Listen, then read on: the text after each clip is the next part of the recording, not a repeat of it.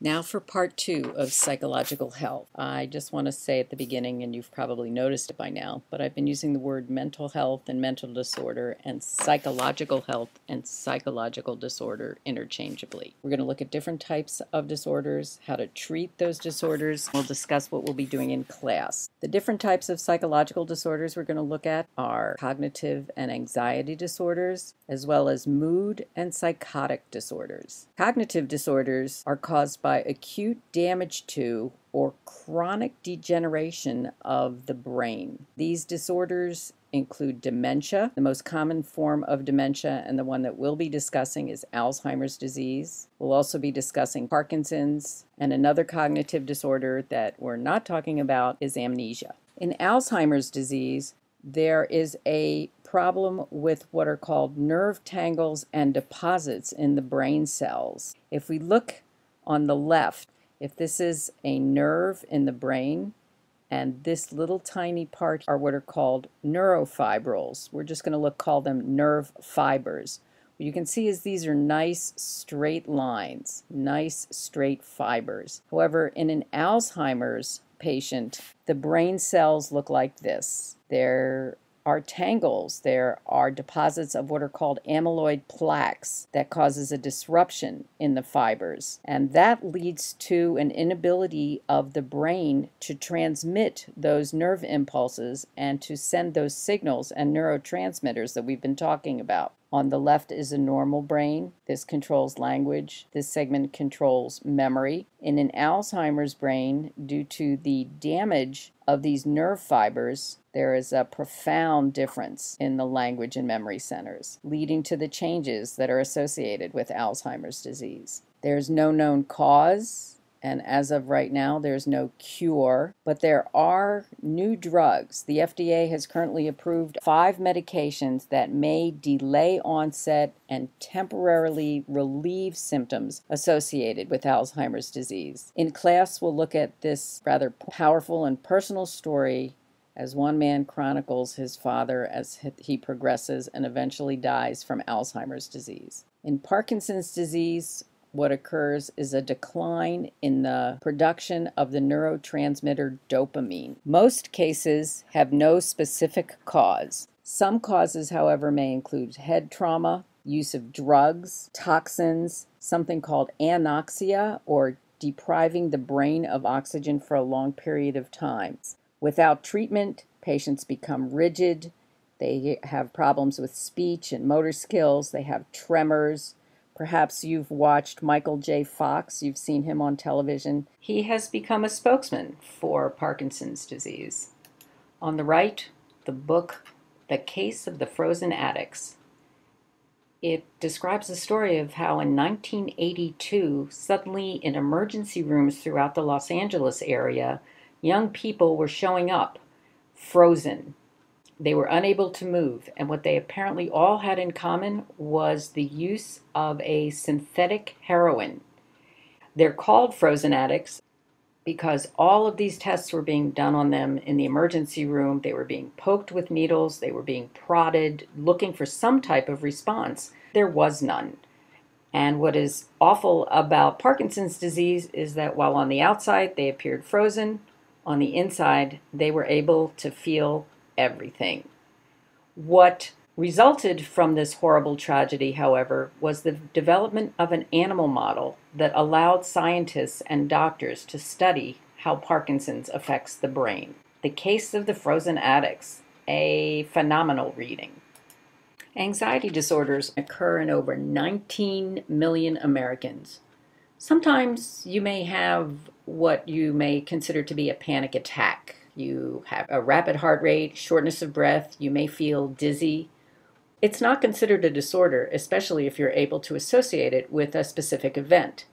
However, when these panic attacks begin to occur without any apparent cause or reason, then your panic attack becomes a panic disorder. Anxiety is an emotional state that's characterized by feelings of nervousness or tension or a sense of apprehension. Phobias are considered anxiety disorders. An individual may be considered agoraphobic when they are afraid to be out in public, or actually, what it means is fear of developing an anxiety attack. What happens is over time, these people won't leave their houses because they're afraid of becoming afraid. Claustrophobia is fear of being enclosed in places. This one is arachnophobia or fear of spiders. I put it in here because I have two sons, not small children anymore, who have an amazing fear of spiders. General anxiety disorder, in which an individual experiences excessive worrying, excessive to the point where they are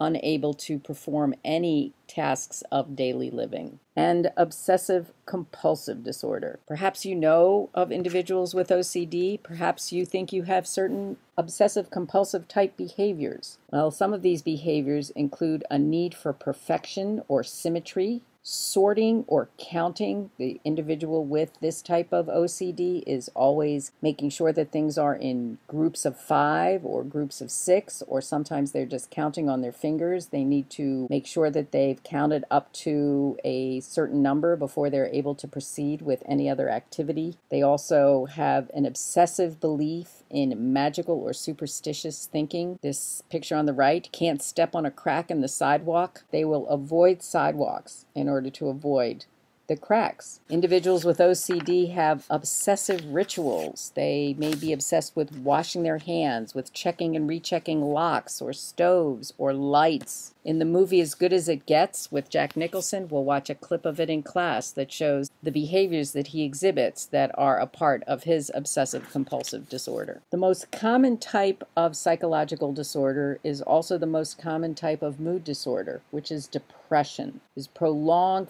feelings of hopelessness and worthlessness, along with periods of sadness. Now, what I must tell you right now is that there's a difference between being depressed and experiencing depression. You certainly may have experiences in your life about which you are depressed, but when you are experiencing prolonged feelings of hopelessness and prolonged feelings of worthlessness, you may be developing a depression. An example may be viewing life through blue colored glasses, as opposed to the optimist who views life through rose colored glasses. Mood disorders may be a combination of genetic and environmental factors. And this goes back to what we talked about previously as the diathesis stress hypothesis that you may have a pre existing genetic vulnerability and you then experience some type of stressful situation in your environment that triggers this mood disorder. Lack of motivation is a symptom of depression, not wanting to get out of bed, not wanting to leave the house, not wanting to be involved in any activities that you used to like, like any hobbies, includes intense feelings of sadness or emptiness. Some people have talked about it as an indescribable feeling of heaviness.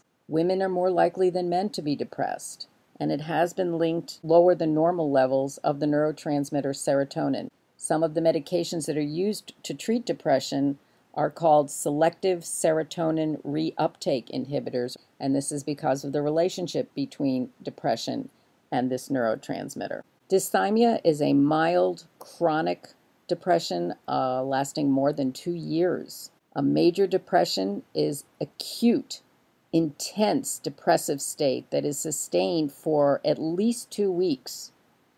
And bipolar disorder, that used to be referred to as manic depressive disorder. We also have seasonal affective disorder. It's common around February and March in what are called temperate areas, and yes, we are living in a temperate area. And it seems to be related to low exposure to sunlight. Some people respond to what's called phototherapy treatment, where they sit for perhaps up to two and a half hours a day under this type of artificial light, and that seems to help with their symptoms. And we have what are called psychotic disorders. These involve a total break from reality. It may be described as a disorder in which the personality is seriously disorganized and the person's contact with reality is impaired. Brief psychotic disorders usually last perhaps one day up to one month. They're usually associated with a traumatic event. Somebody experienced something unspeakable, and their mind may be protecting them by causing this break with reality. Delusional disorders involve the presence of what are called non bizarre delusions. The belief that something is occurring in the person's life that is really not out of the realm of possibility.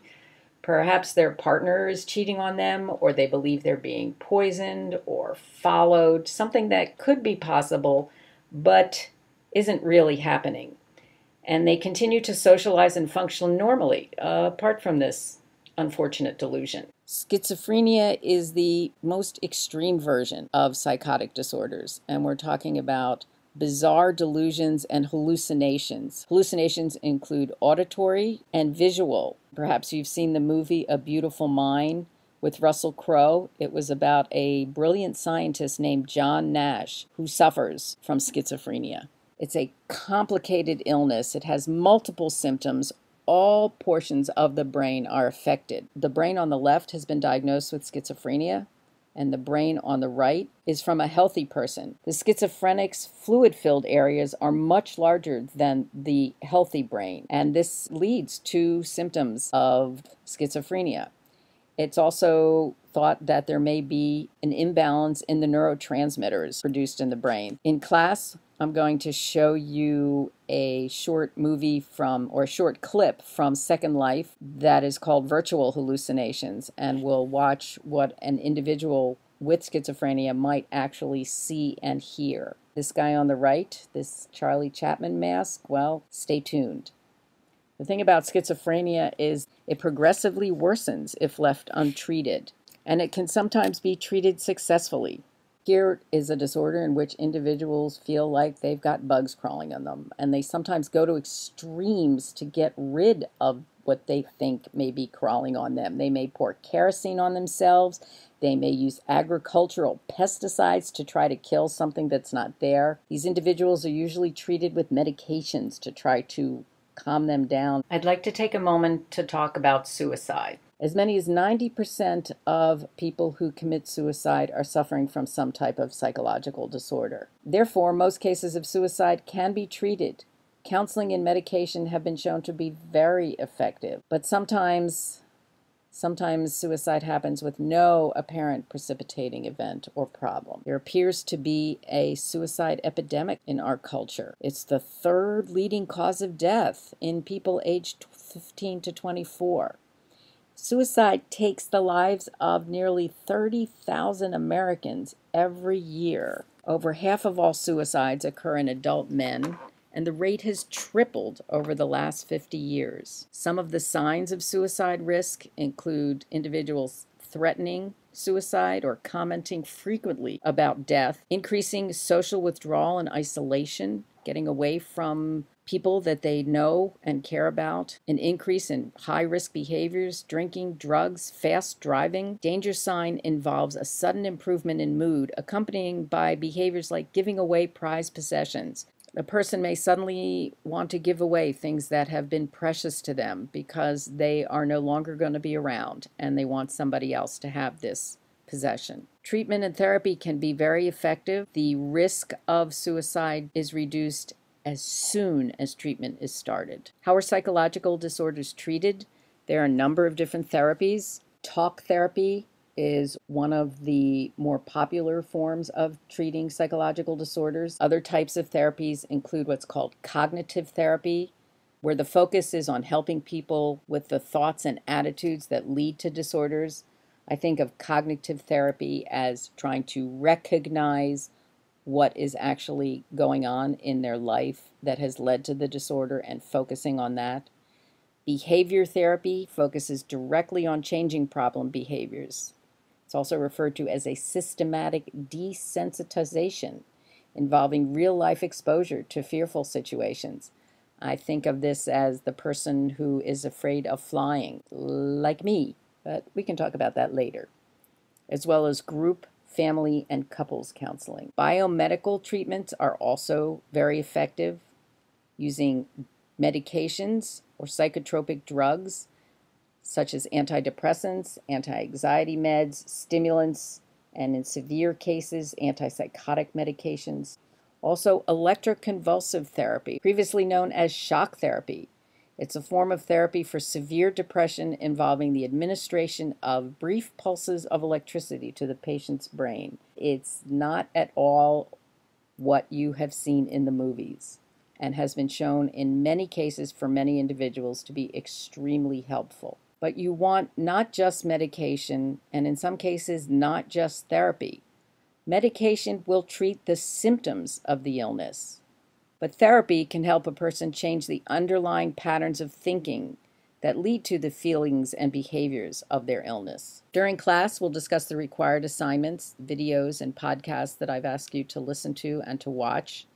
We'll watch some more short videos on specific disorders. You'll see what that Charlie Chaplin head is about, as well as discussing the videos. And we'll also divide into groups and I will hand out case studies in which you will be one of the psychological health professionals, either the psychiatrist, the psychologist, the social worker, or most likely the counselor. And I will give you different situations in which you will describe what condition you think the person is suffering from and how perhaps that person may be treated.